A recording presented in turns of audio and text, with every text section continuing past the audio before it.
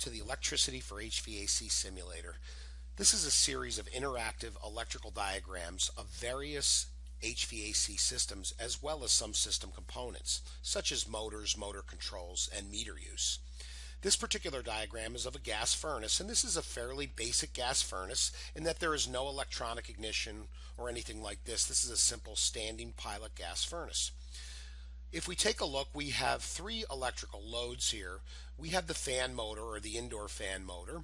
We have the transformer, which will step down the line voltage of 120 volts to the control circuit voltage of 24 volts. And then we have a 24 volt gas valve here, which will allow gas to flow to the burners and be ignited by the pilot. We also have three electrical switches. This switch right here, HT, is our system thermostat or our heating thermostat. The next switch is a high limit switch or a limit switch. The limit switch is placed above or in the vicinity of the heat exchanger and will open in the event that there is an overheat condition. An overheat condition is typically caused by a lack of or loss of airflow, meaning possibly a dirty filter, a faulty fan motor here, or possibly a bad fan switch that, that doesn't turn the fan motor on. Occasionally, this can also be caused by an oversupply of fuel, although this is fairly rare. The last switch, which I just mentioned, was the fan switch.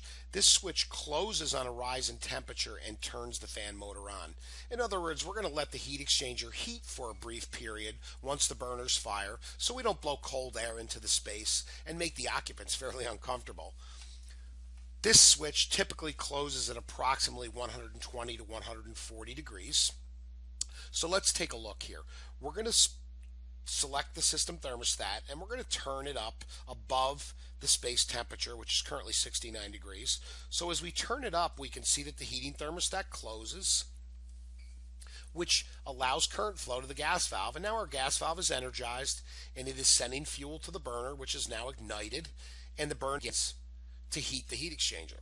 The heat exchanger heats the temperature starts to rise and eventually this fan switch would close and turn the fan motor on. So let me turn the internal temperature up here a little bit and see what I'm talking about. There we go. At about 120 degrees, the fan switch closes on a rise in that temperature and energizes the fan motor. We're now delivering heat to the space. Okay. Last thing, the high limit switch. Uh, high limit switches open at various temperatures depending on make and model of the furnace and the type of furnace that's being used. Now, don't forget, once you feel you have a great understanding of the components and their function within the circuit, as well as a pretty good idea of the sequence of operations, you can use the meter down here to test various components. Now you can just test these on your own, or what I would suggest is placing the diagram in what we call challenge mode. So if you click on this tab at the top left, just below the home, and click challenge mode, once it launches, you'll be able to select from a series of faults to see what these faults look like. In addition, you'll also be able to take a quiz to test your mastery level of this particular wiring diagram. So now to launch the fault list, we have this little X within the circle. It's the third one down. We click on that and you can see we can place faults in any of the components here. So for example, if we were to put a fault in a, you know, the fan switch here, we click on this. Now what we can do is we can take the meter out of the toolbox down here, turn it to AC volts, and we can drop these leads at any of the glowing hot spots that we see here. I'm going to store them temporarily. Now, when I come down here, I'm going to turn the system thermostat to call for heat. So I'm going to turn it up above the room temperature. And as we can see, the thermostat closed. We have power to the gas valve. Okay. Now, once we reach approximately 120 degrees, the fan switch located up here should close and turn the fan motor on. So let's see what happens here. Okay, if we turn the internal furnace temperature up, and this would be the temperature above the heat exchanger, at approximately 120 degrees, we notice this fan switch does not close, and the fan motor wouldn't operate. What would happen here is the burners would continue to run for a brief period until the temperature around the heat exchanger uh, became excessive. This would then cause the high limit switch here to open and de-energize the gas valve, extinguishing the burner operation. The high limit will also cycle, so once things have cooled down, it will close again and reignite the burners, and this cycling will typically continue on a residential gas furnace. So to check the fan switch, we know it should be closed because our internal temperature is at 142. we can drop the meter leads right at the glowing red hot spots.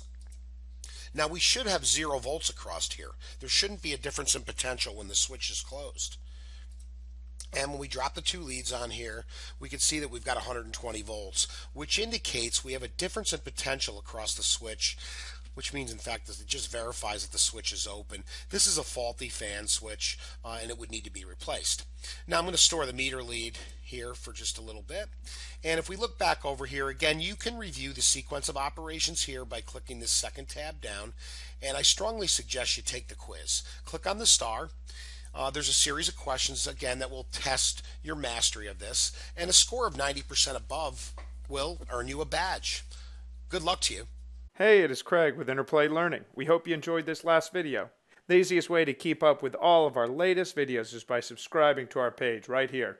Just to let you know, if you're interested to learn how simulations are critical to onboarding and improving you or your employees' performance in the field, please visit us at interplay-learning.com.